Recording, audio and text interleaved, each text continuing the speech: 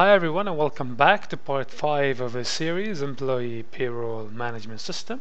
And in this tutorial I'm going to show you how to add date and time to your JForm or in our case we're going to add it to our login and we're going to place it in the menu bar.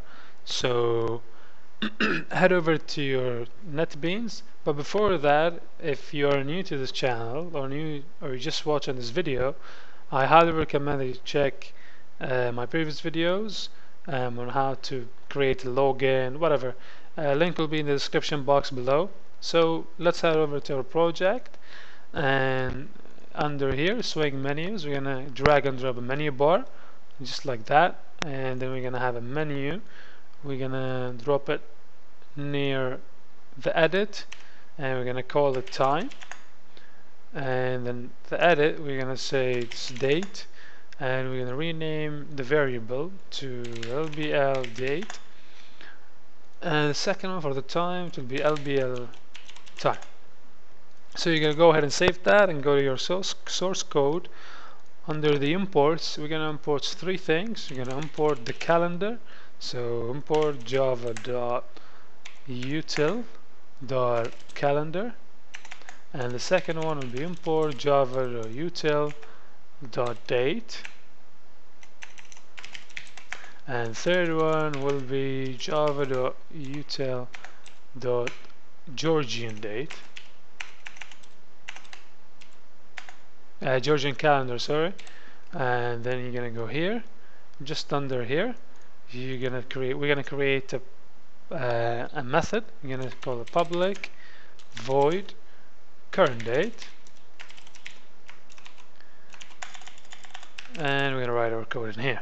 So we're gonna say calendar. We're gonna say cal equals a new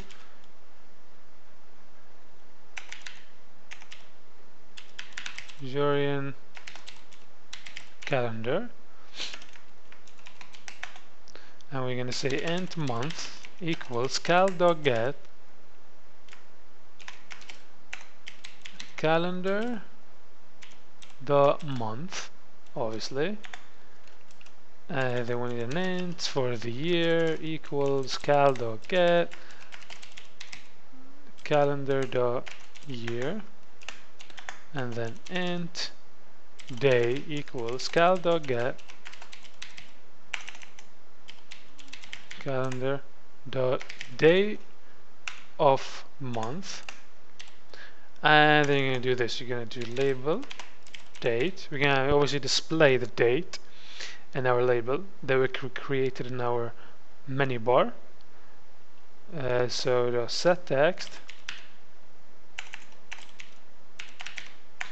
And then we're going to do this. We're gonna say month plus one. And then we're gonna go here and do plus and then we're gonna say plus the day.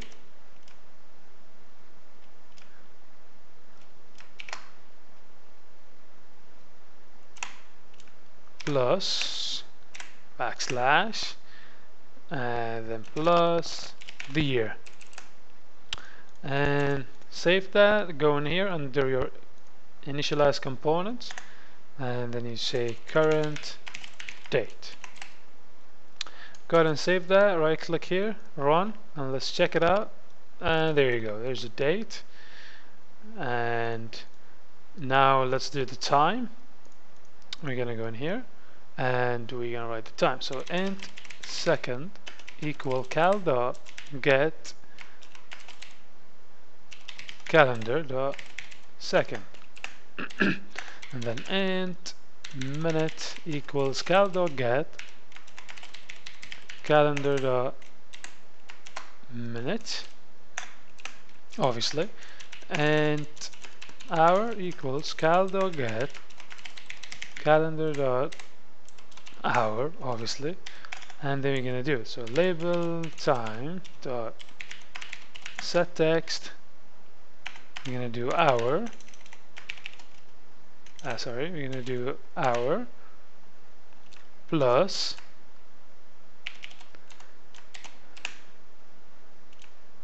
plus minute plus plus second.